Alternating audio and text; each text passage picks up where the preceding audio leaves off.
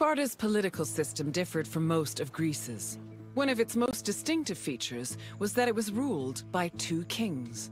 These kings belonged to two separate dynasties, the Eurypontids and the Agiads, both of which were said to be descended from Heracles. Both kings shared equal powers, and disputes between them required the intervention of special magistrates known as ephors. However, if one of the kings were more charismatic or experienced, they could influence the weaker king's choices.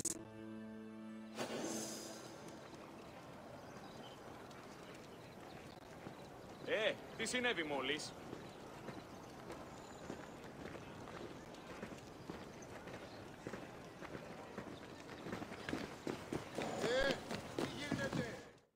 Spartan kings had several responsibilities and functions. As lifetime magistrates, they were technically Sparta's priests and strategists, and their duties encompassed everything from politics to justice. Originally, both kings would lead military campaigns in times of war. However, from 507 BCE onwards, only one of the two kings could be head of the army. On the battlefield, kings were accompanied by 300 elite soldiers for protection. But being a king wasn't only about working and fighting, they enjoyed special privileges as well. Spartan kings lived at the expense of the city, owned royal estates in the surrounding Perioikic cities, and received the majority of the spoils of war. When they passed away, they were buried with special honors, and the population mourned them for a period of 10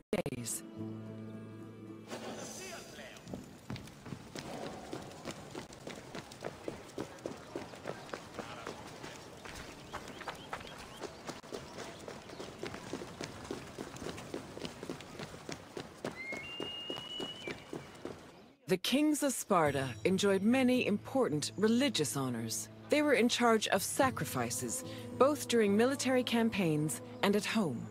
The kings received double portions of the meat at all communal meals, and they were also the first to pour libations.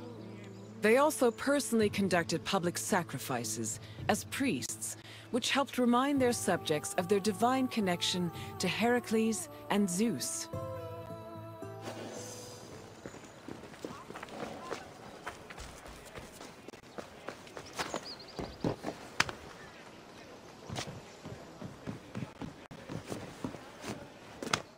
The ephors, or overseers, were five magistrates elected by the Spartan assembly. They were chosen from amongst Spartan citizens over 30 and served for one year with no possibility of re-election. The ephors played a large part in administrating the city and were considered the most democratic agents in the Spartan political system. They had judicial power and ordered the dispatching of the Spartan army during wars. They also met and negotiated with representatives from other states, in addition to running the agoge, the Spartan education system. While not as powerful as the kings, the ephors still held great sway over Sparta's affairs.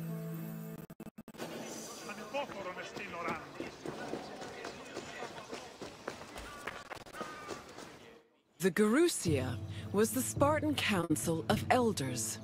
It was made up of the two current kings, as well as 28 elders called Gerontes. They were Spartan citizens over the age of 60, the cutoff age for military duty. They were elected for life by the Spartan Assembly.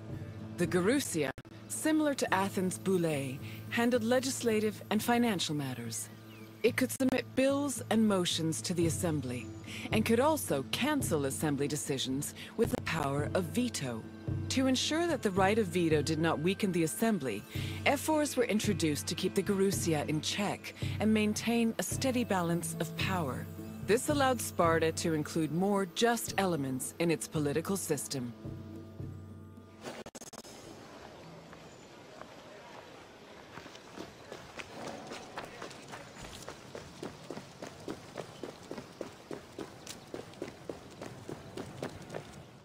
The Spartan Assembly, or the Apella, was made up of Spartan citizens who were over 30 years old.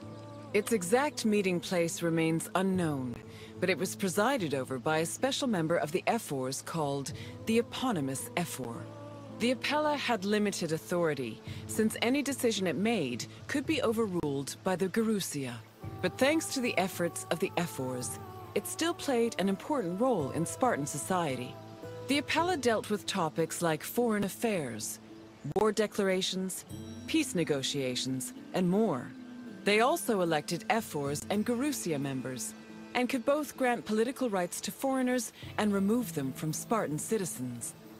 Unlike the myriad sources on the functions of the Athenian Assembly, the exact details of the Apella's decision-making process are unknown.